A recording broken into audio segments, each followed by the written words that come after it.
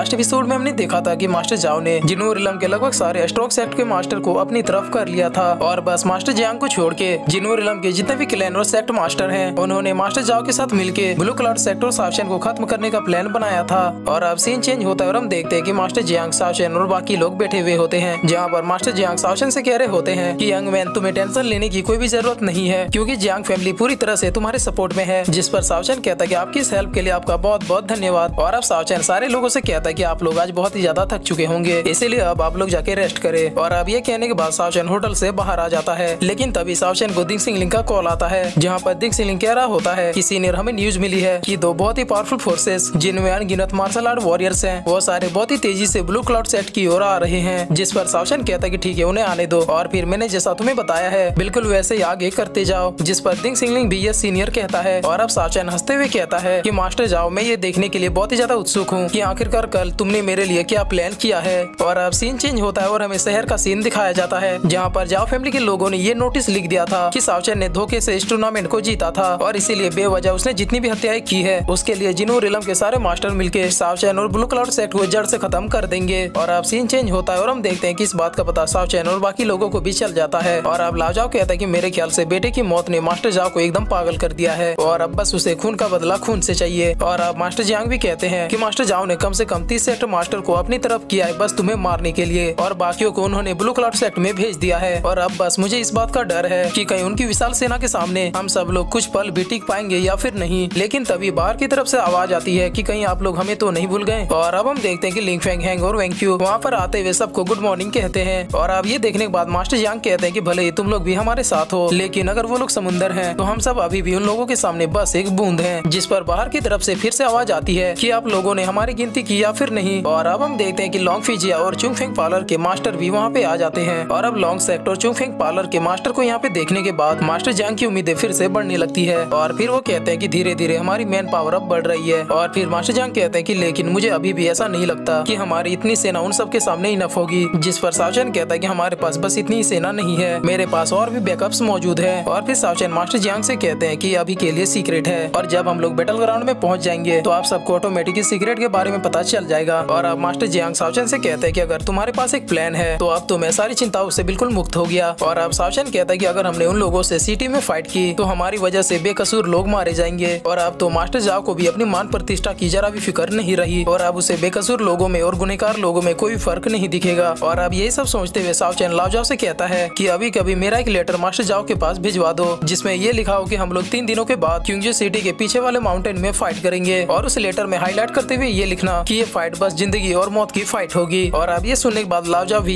Master कहता है, और अब सावचन बाकी लोगों से कहता है कि आप सभी अपने अपने सेक्टर वापस जाएँ, और उस दिन की फाइट के लिए आप सभी अपने अपने मैन पावर के साथ तैयार रहें, जिस पर सारे लोग भी एक साथ यस मास्टर कहते हैं। और अब सारे लोगों को जाता हुआ देख के सावचन अपने मन में सोचता है की मैंने नहीं सोचा था की जाओ इतनी जल्दी एक्शन लेगा। और फिर सावचन कहता है कि चलो अच्छा हुआ की मेरे पास इतनी जल्दी एक चांस आ चुका है की अब मैं पूरे जिनू रिलम को जीत सकता हूँ। और अब सावचन ब्लैकी से कहता है की क्या अब तुम अपने बारे में एक्सप्लेन करना शुरू करोगे? क्योंकि अब तो मैंने टूर्नामेंट को भी जीत लिया है। और अब इतना कहकर सावचन ब्लैकी को ज़मीन पे पटक देता है, जिस पर ब्लैकी भी सावचन की बातों को इग्नोर करते हुए ज़मीन पे सोने की एक्टिंग करने लगता है, और अब ब्लैकी की ऐसी एक्टिंग देख के सावचन का पारा घिसकने लगता है। और फिर सावचन ब्लैकी को बहुत ही फनी तरीके से मारते हुए कहता है कि मेरे सामने ये एक्टिंग करना बंद करो। और अब फिर ब्लैकी सावचन के सामने बहुत ही ज़्यादा क्यूट और इमोशनल बनने की एक्टिंग करने लगता है, जिसे देखकर सावचन बहुत ही ज़्यादा गुस्से में ब्लैकी से कहता है कि पता नहीं क्यूँ आज मुझे हॉट डॉग खाने का मन कर रहा है। और अब ब्लैकी रोते हुए कहता है की अभी मैं तुम्हें कुछ भी नहीं बता सकता, क्योंकि अभी भी तुम्हारी पावर्स और स्किल उतनी हाई लेवल की नहीं है। और मैं नहीं चाहता कि मैं तुम्हें अभी से इन सारी बातों को बता के तुम्हारी जान को खतरे में डालूं। और फिर ब्लैकी कहता कि जब तुम इस लायक हो जाओगे कि तुम अपने आप को और अपने चाहने वालों को प्रोटेक्ट कर पाओगे, उस दिन मैं सारी चीज़ों को तुम्हें बहुत ही अच्छे से समझा दूँगा। और अब ब्लैकी की बातों को सुनने के बाद सावचन बहुत ही प्यार से ब्लैकी को उठाता है। और फिर ब्लैकी से कहता है कि अगर तुम मुझे अभी नहीं बताना चाहते हो तो ठीक है, मैं तुम्हें अभी फोर्स नहीं करूँगा। क्योंकि मैं जानता हूँ कि तुम्हारे पास भी कुछ सीक्रेट्स होंगे, जैसे कि मेरे पास मेरे अपने सीक्रेट्स हैं। और अब ये सुनने के बाद ब्लैकी कहता है तुम इतना इनोसेंट बनना बंद करो और सबसे पहले तुम मुझे नीचे उतारो। जिस पर सावचन कहता कि हाँ उतार दूँगा। लेकिन क्या तुम मुझे बता सकते हो कि अभी तुम्हारी करंट लेवल क्या है? जिस पर ब्लैकी हँसते हुए कहता है कि मेरी अभी करंट पावर इतनी ज़्यादा है कि अभी एक फ़र्स्ट लेवल का सेलेस्टल किंग भी मेरे सामने घुटने टेकेगा। और अब ब्लैकी को रियलाइज़ होता है की सावचन धीरे धीरे अब उससे अंदर की बात निकलवा रहा है। और फिर ब्लैकी सावचन से कहता है कि तुम मुझसे अब इस तरह की क्वेश्चन पूछना बंद करो। और अब सावचन हँसते हुए कहता है कि मैं जानता हूँ कि तुम उन तीनों बच्चों में से एक हो। और अब सावचन ब्लैकी से कहता है कि ब्लैकी आज से तीन दिनों बाद जो फाइट होने वाली है, वो हमारे तुम्हारे लिए जिनू रिलम में आज तक की सबसे बड़ी फाइट होगी। तो क्या तुम उसके लिए तैयार हो? जिस पर ब्लैकी भी अपने थर्ड आई को चमकाते हुए कहता है कि उस दिन उस माउंटेन पे जो भी आएगा, उसे बस मौत मिलेगी। और अब इतना सुनते सावचन बहुत ही ज़ोर ज़ोर से हंसने लगता है। और अब सावचन हँसते हुए कहता है की फाइनली अब हम जिनू रिलम पे अधिकार करने वाले हैं। जिस पर ब्लैकी भी फुल जोश में कहता है की कह दो उन झोपड़ी वालों को की अब पूरे जिनू इलम में हमारा ही कहर ढाने वाला है। और अब ये कहने के बाद ब्लैकी बहुत ही फनी तरीके से कहता है की क्या अब तुम मुझे नीचे उतारोगे? और अब सीन चेंज होता है और हम ब्लू क्लाउड सेट को देखते हैं, जहाँ पर दिंग सिंगलिंग अपने सारे डिसाइपल्स को आने वाले खतरों के बारे में बता रहे होते हैं और फिर दिंग सिंगलिंग सारे डिसाइपल्स का हौसला बढ़ाते हुए उन सबको होने वाले बैटल के लिए मोटिवेट कर रहे होते हैं। और अब दिंग सिंगलिंग की मोटिवेशनल स्पीच सुनने के बाद ब्लू क्लाउड सेट के सारे डिसाइपल्स भी फुल जोश में आ जाते हैं। और अब दिंग सिंगलिंग चीफ एल्डर से पूछता है कि आखिरकार जो फोर्सेस हमारी ओर आ रही है, उन सब की कुल संख्या कितनी है और इसके साथ ही वो लोग किस लेवल के कल्टिवेटर है, जिस पर चीफ एल्डर बताते हैं की जो हमारी ओर सेना आ रही है, उसमें चालीस हज़ार ज़्यादा रिकॉर्नेशन रिलम के वॉरियर है और कुछ एक डेढ़ हज़ार थ्योरजी रिलम के वॉरियर है और इसके साथ ही हंड्रेड से भी ज़्यादा कॉम्बिनेशन रिलम के वॉरियर हैं, तथा उनमें दस से भी ज़्यादा डिवाइन रिलम के कल्टीवेटर हैं। और अब ये सब सुनने के बाद दिंग सिंगलिंग अपने एक्सप्रेशन को सबके सामने तो नहीं दिखाता, लेकिन अंदर से ये सब सुन के दिंग सिंगलिंग भी हिल चुका होता है। और अब सीन चेंज होता है और हमें दूसरे दिन का सीन दिखाया जाता है, जहाँ पर हम देखते हैं की मास्टर जाओ के कहे अनुसार वो लोग अपनी सेना लेके ब्लू क्लाउड सेट के मेन गेट के पास पहुँच चुके होते हैं। और अब उनमें से एक मास्टर अपनी सेना को ऑर्डर देता है की सारे ब्लू क्लाउड सेट के लोगों को मार दो। और अब इतना सुनते दिंग सिंगलिंग भी अपने डिसाइपल्स को ऑर्डर देता है की एक साथ सभी मिलकर फॉर्मेशन को क्रिएट करना शुरू कर दो।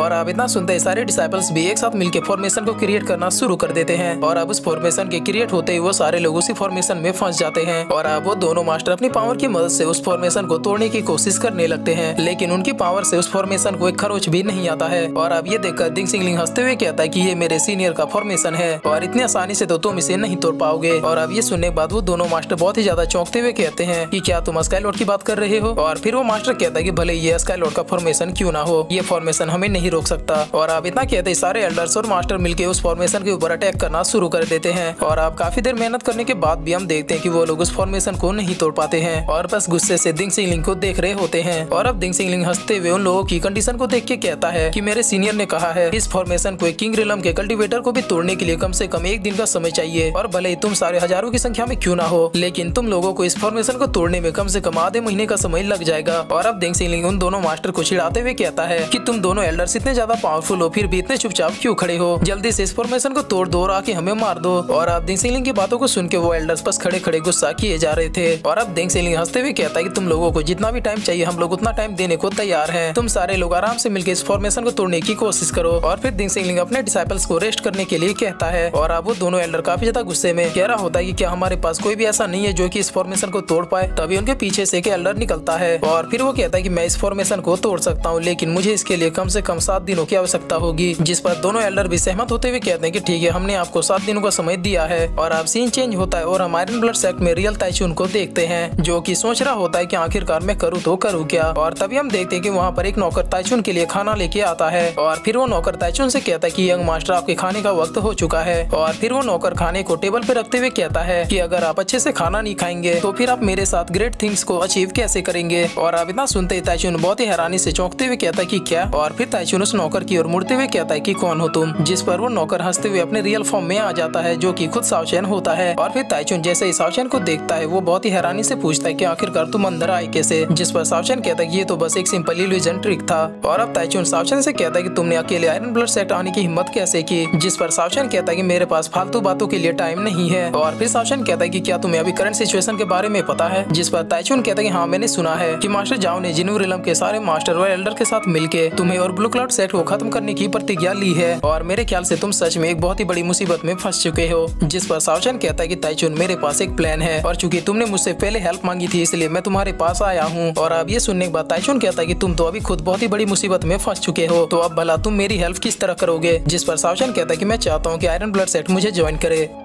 और फिर इसी के साथ ये एपिसोड यहीं पे खत्म होता है।